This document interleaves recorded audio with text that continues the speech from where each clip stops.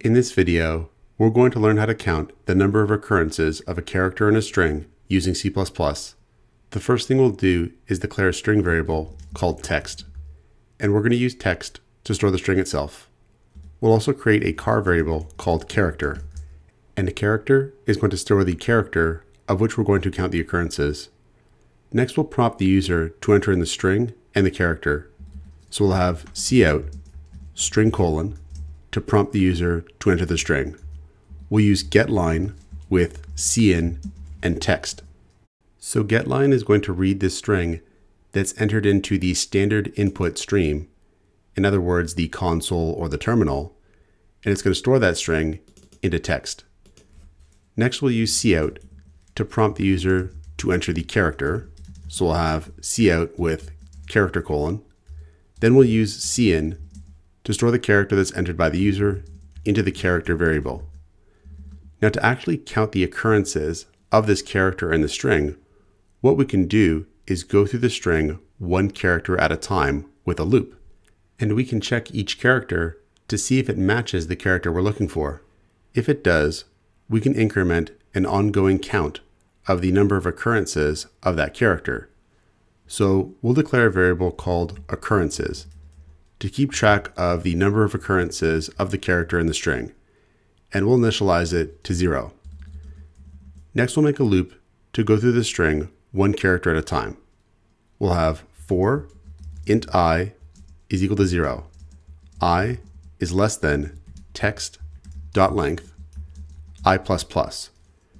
So what we're doing here is using the counter variable i to go through the string one character at a time. We're starting i off at 0, and we're incrementing it by 1 with each iteration of the loop. We're going to stop the loop once i reaches the length of the string. So we'll check to see if the character at index i is equal to the character that we're looking for. If it is, we'll increment occurrences by 1 each time we find the character. And so by the end of this loop, we'll have counted all the occurrences of the character in the string. We can output the occurrences here. We'll say cout and we'll have occurrences followed by the string occurrences followed by an end line. So we'll save and compile and run our program. And for the string, I'll enter in ABC space ABCCC. Then for the character, I'll enter in C. And we have four C's in this string and we get four occurrences, which is correct. So our program is functioning correctly. Now there's a bunch of different ways we could actually solve this problem. For example, instead of using a for loop with a counter variable, we could use a range-based for loop instead. So we could say for, and we'll have char c colon text. And this for loop is going to execute for each character in the string. And each time the loop executes, c is going to be assigned the next character in the string. And we could check to see if C is equal to the character that we're looking for.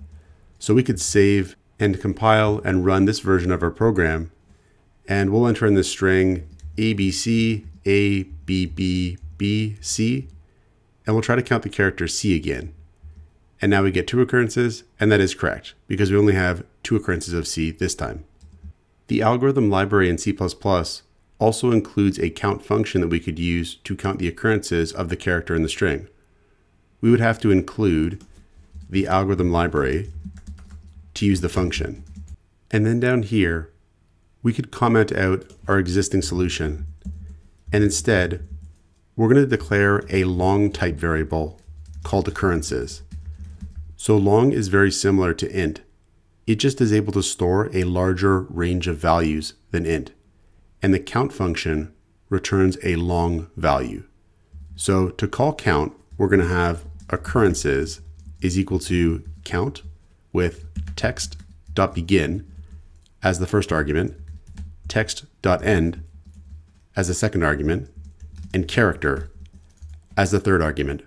So these first two arguments here are what are called iterators.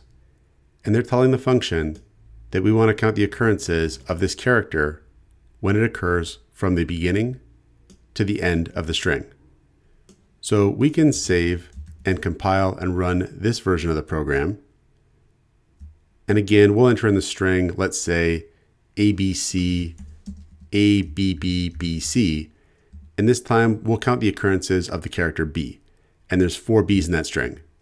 And we get four occurrences. But this time we're using the built-in count function that comes with the algorithm.h library.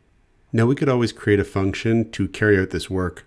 So for example, we could copy this function call here.